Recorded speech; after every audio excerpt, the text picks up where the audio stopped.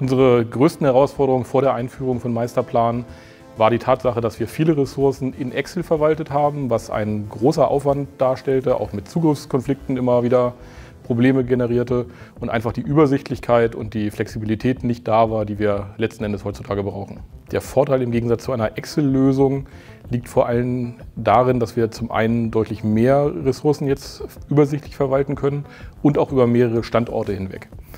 Und der zweite Vorteil, den möchte ich gleich mit anschließen, ist, dass wir dann auch langfristig ähm, eine viel bessere Stellenplanung realisieren können, indem wir eben sehen, dass wir auch in einem halben Jahr, einem Jahr in Ressourcenengpässe laufen und die dann vorausschauend äh, besetzen können. Auch ähm, im Management ist der Begriff Meisterplan ähm, immer schon äh, wohlwollend aufgenommen, weil, einfach eine verlässliche Planung dahinter steht.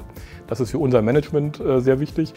Ja, die Auswirkung, als wir Meisterplan eingeführt haben, war letztlich, dass wir schlagartig eine deutlich bessere Sichtbarkeit der einzelnen Entwicklungsprojekte bei uns hatten, inklusive der Auslastung aller Ressourcen. Wir konnten sehr schnell sehen und erkennen, welche Ressourcen überlastet waren, welche Ressourcen noch Kapazität haben gegebenenfalls und welche Projekte zeitlich vielleicht angepasst werden müssen, damit die Gesamtauslastung äh, wieder stimmt.